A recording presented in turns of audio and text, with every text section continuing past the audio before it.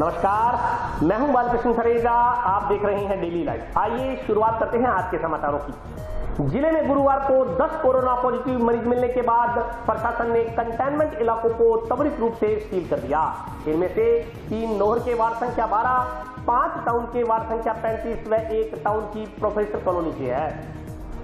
ज़िले में कोरोना रोगियों की संख्या लगातार बढ़ती जा रही है। ज़िले में गुरुवार को कोरोना के 10 नए पॉजिटिव केस सामने आए हैं। इनमें से पाँच हनुमानगढ़ टाउन के वार्ड 35 से एक टाउन की प्रोफेसर कॉलोनी से एक जंक्शन, जबकि तीन ज़िले के नोहर कस्बे से संबंधित हैं। चिकित्सकों के अनुसार टाउन की प्रोफेसर कॉलोनी के जिस व्यक्ति की रिपोर्ट पॉजिटिव आई है, वह प्रोफेसर कॉलोनी में अट्ठाईस जून को पॉजिटिव पाए गए युवक का पिता है। टाउन के वार्ड पैंतीस के पाँचों पॉजिटिव रोगी रेलवे स्टेशन के नज़दीक रहने वाले हैं। इन पाँचों की चार दिन पहले बिहार से लौटने की ट्रेवलर हिस्ट्री है। इसी प्रकार जंक्शन के जिस व्यक्ति के सैंपल की रिपोर्ट पॉजिटिव आई है, वह एक केमिकल फैक्ट्री का मजदूर बताया जा रहा है। उसकी भी हाल ही में बिहार से लौटने की ट्रेवल हिस्ट्री बताई जा रही है। वहीं ज़िले के नोहर के तीनों पॉजिटिव मरीजों की उनतीस जून को दिल्ली से लौटने की ट्रेवलर हिस्ट्री है। इस प्रकार, अब ज़िले में कोरोना पॉजिटिव रोगियों की संख्या तिरसठ से बढ़कर तिहत्तर हो गई है। यह सभी दस नई केस गुरुवार दोपहर को बीकानेर से आई। 30 जून को भेजे गए 218 सैंपल में से 206 सैंपल की रिपोर्ट में पॉजिटिव पाए गए हैं। इन 206 में से 10 पॉजिटिव के अलावा सात सैंपल रिपीट भी मांगे गए हैं, जबकि एक सौ नवासी सैंपल की रिपोर्ट नेगेटिव आई है। इससे पहले 28 जून को बी टाउन की प्रोफेसर कॉलोनी में एक कोरोना पॉजिटिव केस मिला था। कोरोना रिपोर्ट पॉजिटिव आने के बाद प्रशासन की ओर से संबंधित इलाकों में कर्फ्यू लगा दिया गया है।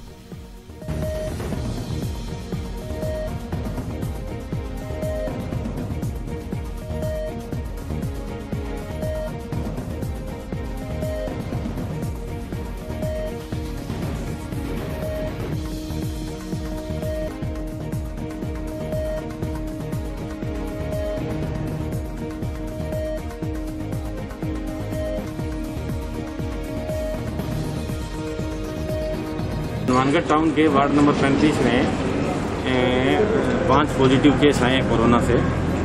तो अभी हम यहाँ कर्फ्यू लगाने की तैयारी कर रहे हैं और ये जो कोरोना पॉजिटिव आए इनको कोविड सेंटर में भेज रहे हैं उसे। हाँ प्रोफेसर कॉलोनी में है, वहाँ भी चेक करवा रहे हैं। उसी जगह है दूसरी प्रोफेसर कॉलोनी रूम में कर्फ्यू लगा रखा है। हाँ कर्फ्यू लास्ट पॉजिटिव आने के चौदह दिन तक रहता है। टाउन के नेहरू चिल्ड्रन स्कूल के शिक्षकों ने स्कूल मैनेजमेंट पर वेतन न देने व इस्तीफे के लिए दबाव बनाने का आरोप लगाते हुए स्कूल के समक्ष प्रदर्शन कर रोष व्यक्त किया। स्कूल प्रशासन हाय हाय हमारे वेतन का भुगतान करो। भुगतान करो भुगतान करो। स्कूल प्रशासन हाय हाय। वेतन न देने तथा इस्तीफे के लिए दबाव बनाने का विद्यालय प्रबंधन पर आरोप लगाते हुए टाउन के नेहरू मेमोरियल चिल्ड्रन स्कूल के शिक्षकों ने विद्यालय के समक्ष एकत्रित होकर रोष जताया। नेहरू मेमोरियल चिल्ड्रन स्कूल के बाहर विरोध प्रदर्शन कर रहे अध्यापकों का कहना था की वे अपने बकाया वेतन की मांग को लेकर एकत्रित हुए हैं। मार्च से लेकर अब तक की सैलरी का भुगतान विद्यालय प्रशासन की ओर से नहीं करवाया गया है। राज्य सरकार के निर्देशानुसार उनसे 31 मई तक ऑनलाइन कक्षाएँ भी संचालित करवाई गई, परंतु वेतन का भुगतान नहीं किया गया। करीब दो माह पहले इसकी जानकारी प्रबंध समिति को दे चुके हैं, लेकिन बकाया भुगतान करने की बजाय विद्यालय प्रबंधन की ओर से स्वेच्छा से इस्तीफा देने के लिए दबाव डाला जा रहा है। अध्यापकों का कहना था कि कोरोना महामारी के संकट में सभी को आर्थिक परेशानियों का सामना करना पड़ रहा है। करीब दस दिन पहले जिला कलेक्टर व लोक शिक्षा अधिकारी को इस संदर्भ में ज्ञापन सौंप चुके हैं, लेकिन अभी तक कोई कार्रवाई नहीं हुई। उन्होंने बताया कि एक सौ इक्यासी पोर्टल पर भी शिकायत दर्ज करवाई गई, लेकिन उन्होंने कहा कि राज्य सरकार के निर्देशानुसार किसी भी निजी संस्था के कर्मचारियों का वेतन नहीं रोका जा सकता और न ही कर्मचारियों को निकाला जा सकता। ऐसे में उनकी भी प्रशासनिक अधिकारियों से मांग है कि उनका बकाया वेतन शीघ्र से शीघ्र दिलवाया जाए तथा किसी को स्कूल से नहीं निकाला जाए। विरोध जताने वालों में दिनेश बागला, कमलेश, सुनीता बंसल, अशोक कुमार, गौतम मेहन, संदीप सम्राट, तालिब खां भानुप्रिया डिम्पल सोनू आदि मौजूद थे। वेतन का भुगतान करना पड़ेगा करना पड़ेगा। स्कूल प्रशासन हाय हाय स्कूल की मनमानी नहीं चलेगी। हम Shri Nehru memorial children school के टीचर्स हैं। हमें मार्च मंथ से सैलरी नहीं दी जा रही। हमें आज चार मंथ हो चुके हैं और हमने कलेक्टर सर और पंचायत समिति दोनों को ही वो कार्रवाई की है। हमने पर हमारी सुनी नहीं जा रही। एप्लीकेशन दी है हमने। पर हमारी सुनी नहीं जा रही मैनेजमेंट भी हमारी सुन नहीं रही। आज वन वीक हो गया हमें कार्य मतलब एप्लीकेशन दी हुई, पर हमारी सुनी नहीं जा रही। और हमारी जो स्कूल की मैनेजमेंट है, वो ये कह रही है कि कलेक्टर भी हमारे पक्ष में हमने किया हुआ है, चाहे पूरा हनुमानगढ़ इकट्ठा हो जाए, लेकिन आपको सैलरी नहीं मिलेगी। हमने बहुत कोशिश की। उसकी रिकॉर्डिंग भी हमारे पास है, जो मैं आपको भी दिखा सकती हूँ। हम, हमें हमारी सैलरी दी जाए। हमने मेहनत की, हमने 31 मई तक ऑनलाइन काम किया और जैसे सरकार बोल रही है, वैसे ही हमने ऑनलाइन काम किया है। जैसे ही इन्होंने स्कूल में बुलाया, वैसे हम स्कूल में आए, हर काम किया। ऑनलाइन सारा दिन ऐसे तो हमने ऑनलाइन पढ़ाया नहीं। ऑनलाइन हर हर हफ़्ते, हर टेस्ट भी लेने, सारा कुछ किया हमने बट हमें सैलरी नहीं दी जा रही। हमने मेहनत की है और हमसे इस्तीफे की मांग की जा रही है। हम, हमें हमारा वेतन दिया जाए। सरकार ने कहा है कि ना किसी को नौकरी से नहीं निकाला जाएगा तो फिर ये कौन होते हैं कि इस्तीफा देंगे? और ये जो मैनेजमेंट है, ये कह रही है कि इस्तीफा दे दो फ़ीस नहीं मिलेगी, पंद्रह अप्रैल तक सैलरी देंगे, और भी स्कूल हैं। ये तो है नहीं कि किसी को सैलरी नहीं मिल रही। वीएम कॉलेज वीएम स्कूल चाहे कोई भी है, चाहे गुरु हरि कृष्ण स्कूल है, सबको सैलरी दी जा रही है। ऐसे तो है नहीं। आज हमने धरनेबाजी की है कि हमें हमारा वेतन दिया जाए। आप रिक्वेस्ट है मैनेजमेंट से कि हमें हमारी सैलरी दी जाए। क्योंकि पता है आपको आज आर्थिक तंगी चल रही है। सभी के घर में आर्थिक तंगी, ऐसा नहीं है कि किसी के घर में आर्थिक तंगी नहीं है। बट प्लीज़ रिक्वेस्ट है। हम सभी टीचर से रिक्वेस्ट कर रहे हैं। मैं अकेली रिक्वेस्ट नहीं कर रही। सभी टीचर ही खड़े हैं मेरे पास। सैलरी दी जाए हम। आज हम लोग पूरा का पूरा स्टाफ जो है नेहरू मेमोरियल चिल्ड्रन स्कूल के सामने इकट्ठा हुआ है। क्योंकि गत दो तीन माह से हम लोग हमारे वेतन की मांग कर रहे हैं और हमारी जो समस्या है, उस समस्या से स्कूल प्रशासन को, मैनेजमेंट समिति है, उसको भी हमने अवगत कराया है। माननीय कलेक्टर महोदय को भी हमने ज्ञापन दिया है, वो लोग शिक्षा अधिकारी को भी ज्ञापन दिया है। लेकिन हमारी जो समस्या है, उनकी सुनवाई अब तक नहीं हो रही है।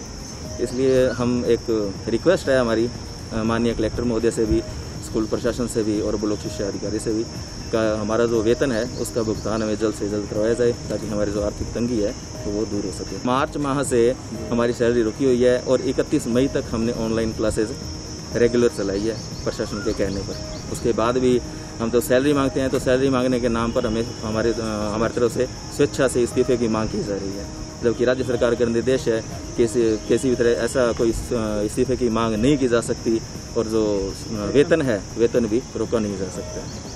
जो सैलरी की डिमांड करी है, वो हम लोगों ने इकतीस मार्च तक सभी को भुगतान कर दी गई है। जो टीचर इकतीस मार्च तक सैलरी नहीं लगे गए थे तो वो प्रिंसिपल पास से जाकर सैलरी ले लें। स्कूल की शिक्षा संस्थाएँ तो बंद है। वहाँ कोई कर्मचारी तो कोई आता नहीं, ना शिक्षक आता। तो इस उपरांत में किसी आ, मेरे ख्याल में तो इकतीस मार्च तक किसी की बकाया नहीं है। फिर भी किसी टीचर की बकाया है तो वो अपनी सैलरी जाकर ले सकते इकतीस मार्च तक की सैलरी प्रिंसिपल से। ना तो हमने पहले इस्तीफा मांगा ना हमने आज मांगा। स्कूल खोलेंगे पढ़ाने शिक्षकों का मैनेजमेंट तो पढ़ाएगी नहीं। तो आज इस मांगेंगे कल टीचर लगाएँगे। ऐसा कोई प्रावधान नहीं है शिक्षण संस्था के अंदर। शहर की संस्था है ये सब आरोप मिथ्या ना इस्तीफे की लोट पहले थी ना इस्तीफे की लोट आज है। स्कूल खुलेगा, स्कूल खुलने के बाद इन्हें टीचरों को पढ़ाना है। ऑनलाइन काम हमने सर्व से बंद कर दिया हमारे पास लिखित में है सूचना दी शिक्षकों को। जिस दिन कोरोना लागू हुआ था, उसके चार दिन बाद में हमने लिखित सूचना दे दी थी, हम लोग ऑनलाइन नहीं पढ़ा पाएँगे। सैलरी संबंध में सुनवाई बिल्कुल प्रॉपर है। इन्होंने कहा अवगत कराया मेरे को पता नहीं।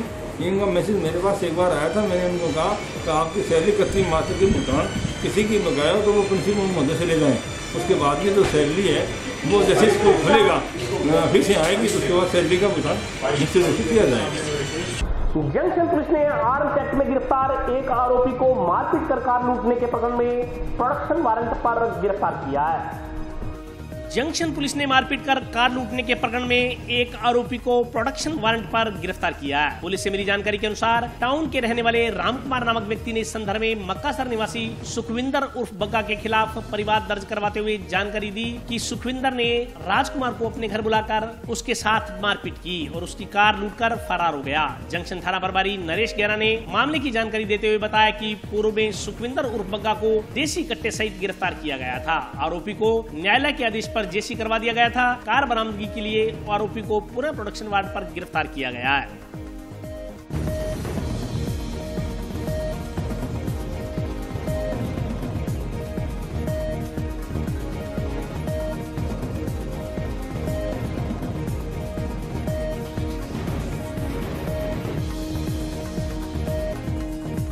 टाउन निवासी जो राजकुमार है, उसके द्वारा एक प्रकरण दर्ज करवाया गया था कि ये बदमाश है सुखविंदर बग्गा जो मक्का से करने वाला है।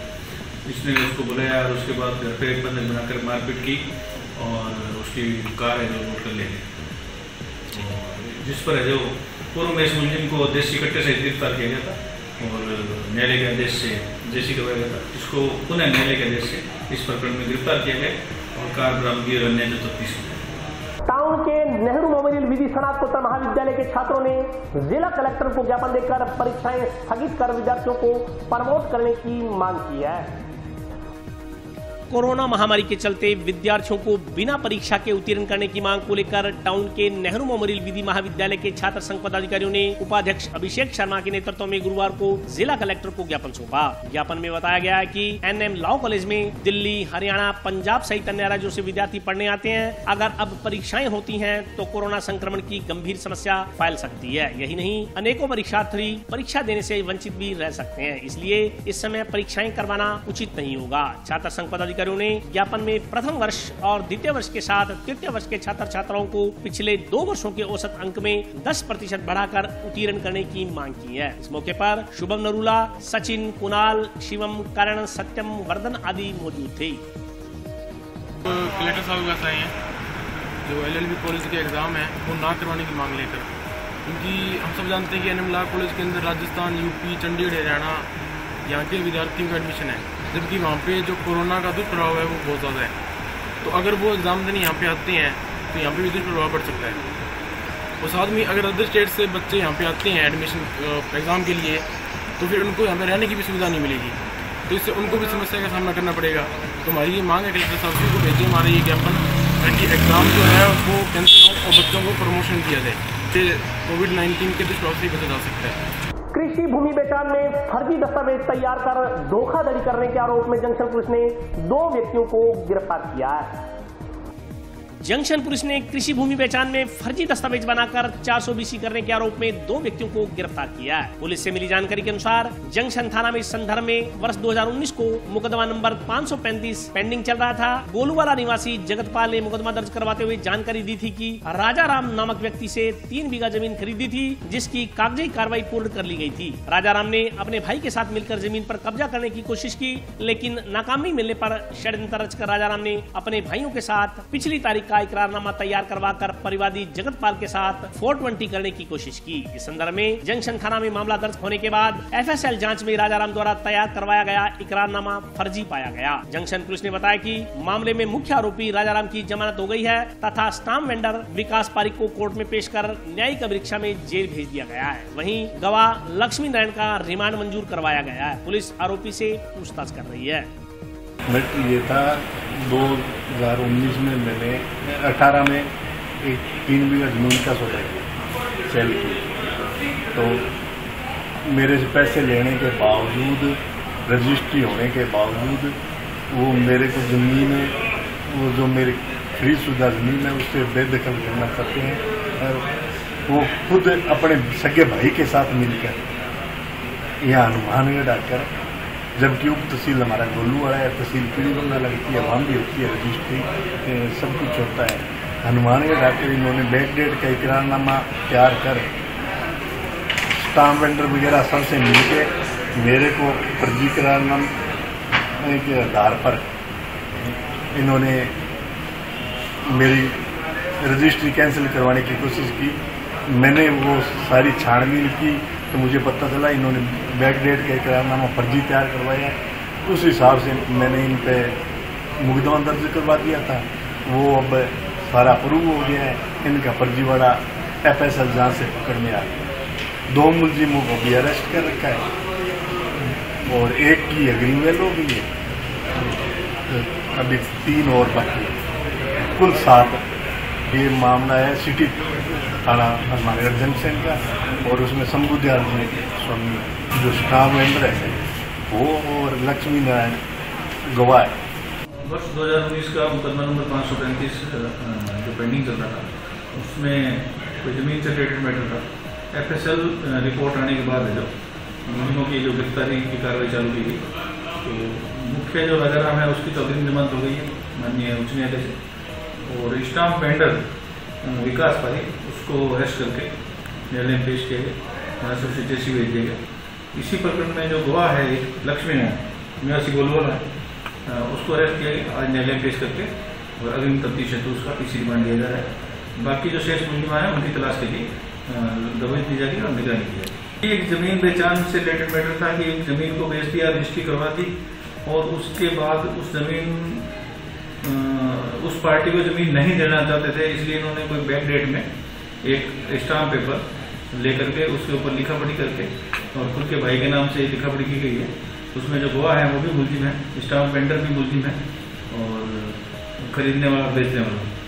इस तरह से बाकियों की जो भूमिका है, उसकी भी जाँच की जा रही है। जो भी आगे की कार्रवाई होगी और अभी वक्त ब्रेक का। हाजिर होता हूँ छोटे से ब्रेक के बाद।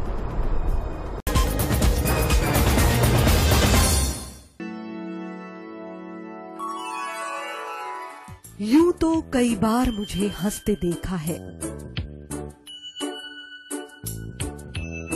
पर ये हँसी कुछ और है। ये गहना मुझ पर जचता है। पर ये महज एक गहना नहीं। ये रूपरेखा है मेरे मन की, हंसती, खिलखिलाती लहरों की। जो आतुर थी अब तक मुझ पर सजने को। इसलिए ये गहना ही मेरा सच्चा श्रृंगार है श्रृंगार है श्रृंगार है।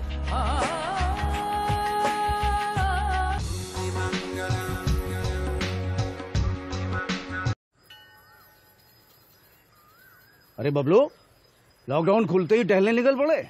महामारी अभी फैली हुई है। सरपंच जी टहले नहीं। कहाँ पे वापस जा रहे हैं? तुझे डर नहीं लगता वायरस पकड़ लेगा?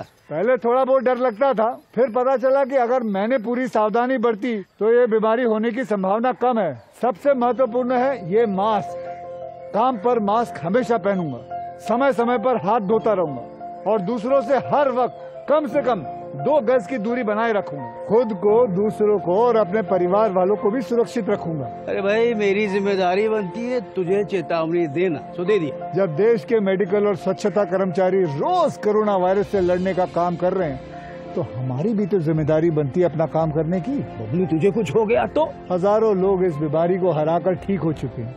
और अगर किसी कारण मुझे ये बीमारी हो भी जाए तो सरकार ने अस्पताल में हमारे इलाज के लिए पर्याप्त व्यवस्था कर रखी है। ये घबराने का वक्त नहीं एक दूसरे का हौसला बढ़ाने का वक्त है।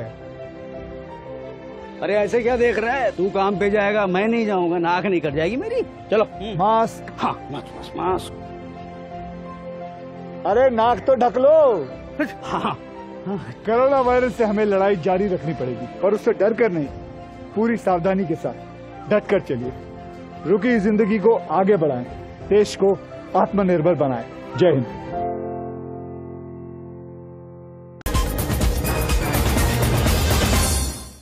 ब्रेक के बाद स्वागत है। आइए नज़र डालते हैं अगले समाचारों पर। नेहरू मेमोरियल पीजी कॉलेज में स्नातक व स्नातकोत्तर में प्रवेश की तिथि को 15 जुलाई तक बढ़ा दिया गया है। इस संदर्भ में कॉलेज प्राचार्य ने विस्तार से जानकारी दी। राजकीय नेहरू मेमोरियल महाविद्यालय में शैक्षणिक सत्र 2020-21 के लिए स्नातक, द्वितीय व तृतीय तथा स्नातकोत्तर उत्तराद्र में प्रवेश नवीनीकरण के लिए विद्यार्थी परीक्षा तथा परिणाम की प्रतीक्षा किए बिना ही 15 जुलाई तक पिछले वर्ष की एप्लीकेशन आईडी द्वारा ई मित्र पर प्रवेश शुल्क जमा करवा सकते हैं। इस संदर्भ में प्राचार्य नरेंद्र सिंह भामू ने बताया की आयुक्तालय कॉलेज शिक्षा के आदेशानुसार प्रवेश नवीनीकरण प्रक्रिया हेतु महाविद्यालय में आने की आवश्यकता नहीं है। कार्मोन्नत प्रथम वर्ष के विद्यार्थी, द्वितीय वर्ष में, द्वितीय वर्ष के विद्यार्थी तृतीय वर्ष में तथा स्नातकोत्तर के विद्यार्थी उत्तराद्र में प्रवेश हेतु अब 15 जुलाई तक ऑनलाइन प्रवेश शुल्क ई मित्र पर जमा करवा सकते हैं। उन्होंने बताया कि नियमित विद्यार्थियों की एप्लीकेशन आईडी ई मित्र पर पोस्टिंग कर दी गई है। समय पाठी तथा पूर्व विद्यार्थियों के लिए अभी तक प्रवेश की कोई तिथि राज्य सरकार द्वारा निर्धारित नहीं की गई है। ऑनलाइन प्रवेश परीक्षा में केवल नियमित विद्यार्थी ही अगली कक्षाओं में शुल्क जमा करवा कर कर्मोन्नत हो सकते हैं। उन्होंने बताया कि स्नातक प्रथम वर्ष एवं स्नातकोत्तर पूर्वाद्र की प्रवेश प्रक्रिया पिछली कक्षाओं के परिणाम आने के बाद ही प्रारंभ होगी। अभी केवल स्नातक द्वितीय एवं तृतीय वर्ष तथा स्नातकोत्तर कक्षाओं हेतु ही प्रवेश नवीनीकरण की प्रक्रिया आरंभ की गई है।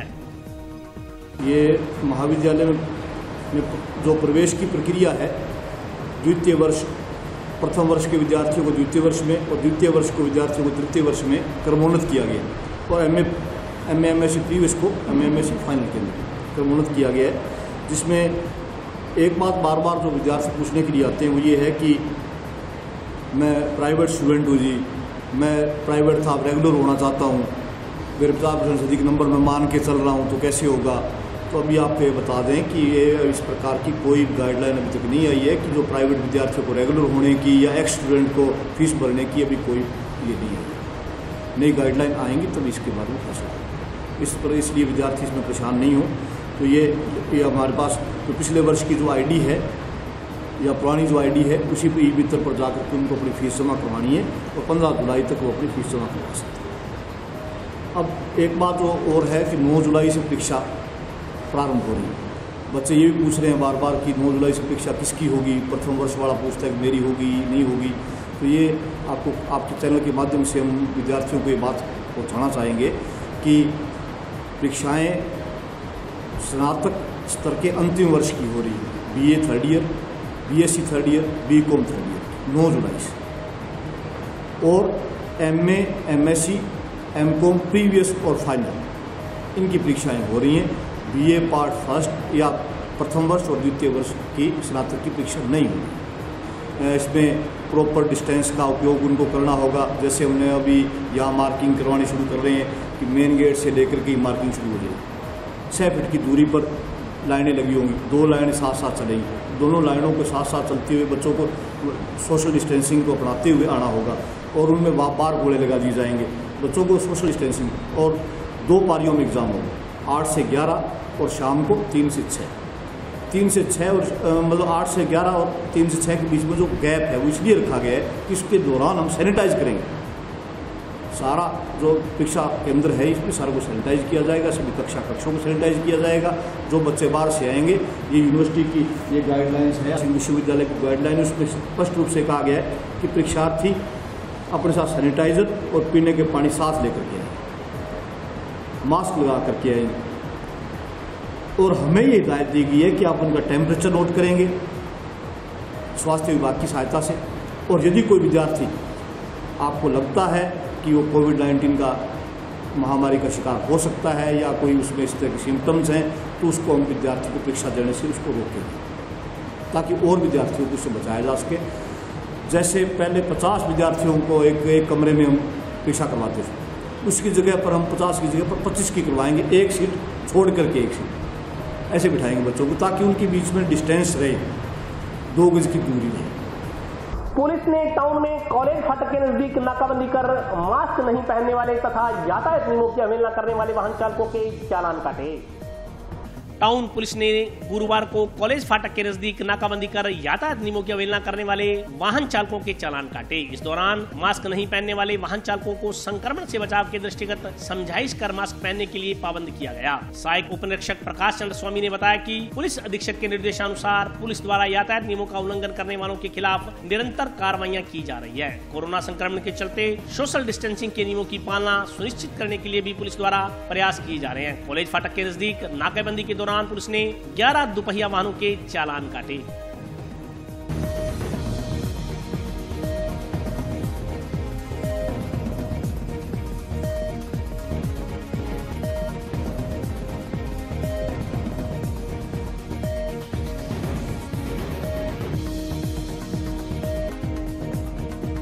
सरकार के निर्देशानुसार लॉकडाउन की पालना में हमारे नियम के तहत जो मास्क नहीं लगाते हैं सोशल डिस्टेंस की दूरी नहीं रखते हैं, जो भी दुकानदार विक्रेता है, वो भी मास्क नहीं रखता है तो उनके खिलाफ कानून कार्रवाई की जा रही है जुर्माना वसूल किया जा रहा है।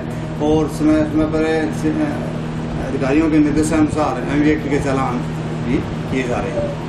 आज कॉलेज फाटक पर एम के चालान किए गए हैं, ग्यारह चालान किए हैं और अभी कलेक्ट्रेट के सामने सड़क के दोनों ओर गड्ढों के कारण स्थानीय दुकानदारों को परेशानी का सामना करना पड़ रहा है। स्थानीय दुकानदारों ने नगर परिषद से इन गड्ढों को जल्द भरवाने की मांग की है।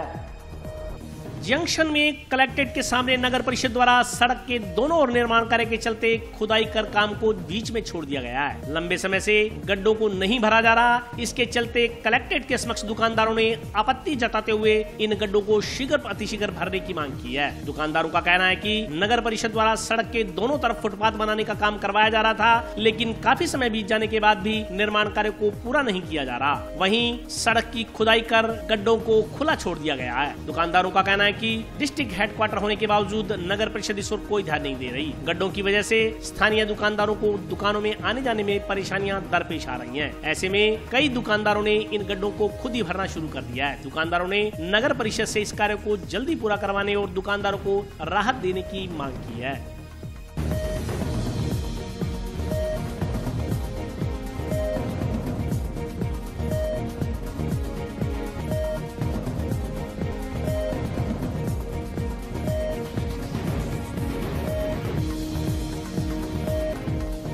हमारी दुकान कलेक्टेड आके है। खड्डे बीस पच्चीस महीनों हो गया। ऐसे दड़ पट के रखे हैं। और लास्ट में दो तीन जने पड़ गए उसमें जो जो भर्ती छोटे मार गिरे की खराब हो रही है। हाँ खुद नहीं बढ़ी। क्या क्या काम करे या कभी करेंगे कार लगा रहे हैं नाला बना रहे हैं। अब समझ में नहीं आ रहा क्या बना रहे हैं। महीना डेढ़ या तो इनको भरो इनको काम करो। ये कलेक्ट्रेट के सामने मेन रोड के दोनों और जो नगर पालिका हनुमानगढ़ ने गड्ढे कर रखे हैं। इनका चार महीनों से कोई समाधान नहीं हुआ आज तक। दोनों तरफ़ यहाँ चौके लगाने का कोई प्रावधान था नगर पालिका का? और जो चौके लगे हुए थे, दुकानदारों के, वो चौके फाड़ दिए गए थे। और दुकानदारों को जो यहाँ क्लाइंट आते हैं, उनको परेशानी होती है दुकानों में जाने के लिए। तो ये अनावश्यक रूप से गड्ढे करके छोड़ दिए यहाँ, जिनको भरने की जिम्मेवारी और तैयार, रोड तैयार करने की जिम्मेवारी नगर पालिका मान करती थी, जो अनदेखी कर रही है। हम ये मांग करते हैं कि ये दोनों तरफ़ इनके चौके लगे रोड के और यहाँ कलेक्ट्रेट है, जिला हेडक्वार्टर म्यूनिसिपल है तो यहाँ साफ़ सुथरा रहे। मेरी भी यहाँ कलेक्ट्रेट के सामने दुकान और आज के लिए बस इतना ही। कल फिर हाजिर होता हूँ नए समाचारों के साथ। तब तक के लिए नमस्कार।